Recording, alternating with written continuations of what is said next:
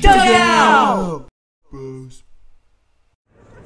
Oh, dude, this batter sucks. This guy's Swing, batter, batter, batter, swing. Pitcher's got a big butt. Pitcher's got a Dude, dude, big dude, dude, butt. Dude, what are you doing? Turn off the batter, man.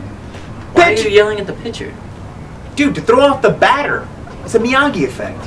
And it is kind of true. What?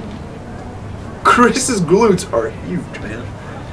For real? I was thinking the same thing last night. Dude, he's got to be squatting like what? 400? I, I heard it was 450 eight times. With those massive quads. I'm not even surprised. They're like teardrops out there. They're made out of marble. I think the David was modeled after him. Dude, he's got to be on roids. You cannot buy calves like that in stores. What I would give for one day with those calves, baby. Want to feel what perfect calves feel like? yes. Jesus, those things are like angels out there. And it looks like a boat floating across a glassy river.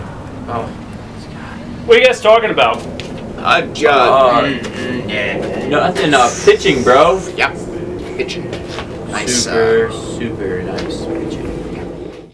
what's up, guys? If you would like to check out some more softballs, And hard bodies, subscribe to our channel. we post a new video every other week, and the only way to know that we post a video is to be connected.